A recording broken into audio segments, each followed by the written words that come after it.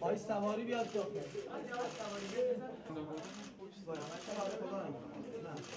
کفایت. دوستان کفایت. نه این کیفتون اگه یه دونه.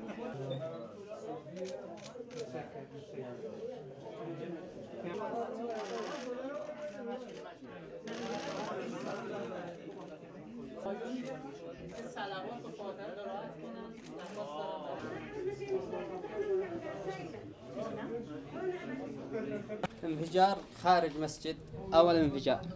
في حصل أربعة شهداء واحد جريح.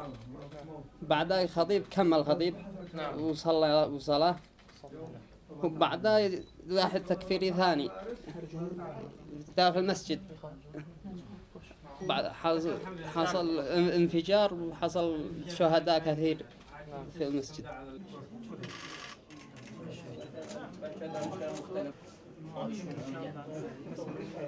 اسمي عبد الملك عبد الملك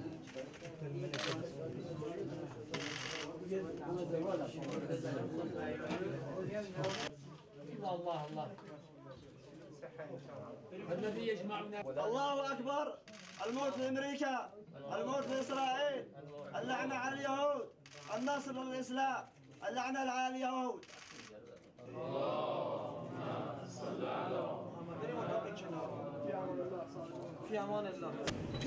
أنا عندي كلام إن شاء الله نكون يد واحدة. ونؤمن بالله. ضد التكفيريين وضد آل سعود. الذي خربوا البلاد وخربوا العالم.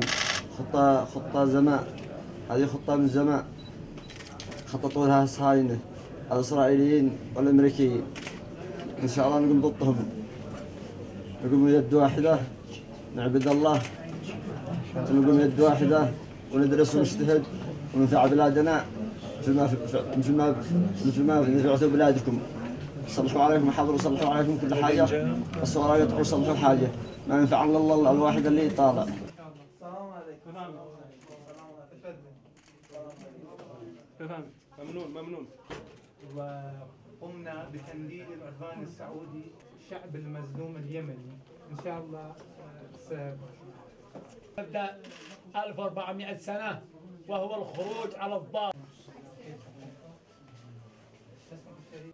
فلذلك نحن إن شاء الله ماضون ومستمرون على هذا على هذا المسار حتى نلقى الله سبحانه وتعالى شهداء لأن هؤلاء لا يرضون للمسلمين خيرا لأنهم تربوا في أحضان الصهيو أمريكية لأن هؤلاء آل سعود لم ولن ولن نعرف منهم إلا الشر دائما چیز حمایت کردن این تغییر ویژه میخواد چون آه، بدون هیچ انشاءالله انشاءالله الله الله اكبر الله الله والموت لاسرائيل واللعنه على اليهود ما از این عزیزان که ستم دیده عالم هستند پشتیبانی خواهیم کرد و تا آخرین قطره خون آنها را در این مسیر که به قول خودشون می‌گفتن که این منهج منهج پشتیبانی و قرآن و حضرت محمد و آل محمد هست به بیان خودشون و ما تا این مسیر ادامه خواهیم داد ما هم در کنارشون تا آخر این مسیر خواهیم بود و این را بدانند که دشمنان اسلام سرانجامی جز نابودی نخواهند داشت. انفجار بود و این نتایج کارهای آل سعود و اسرائیل و آمریکاست. عدونا عزا و نتمنى نتمنى في البيضاء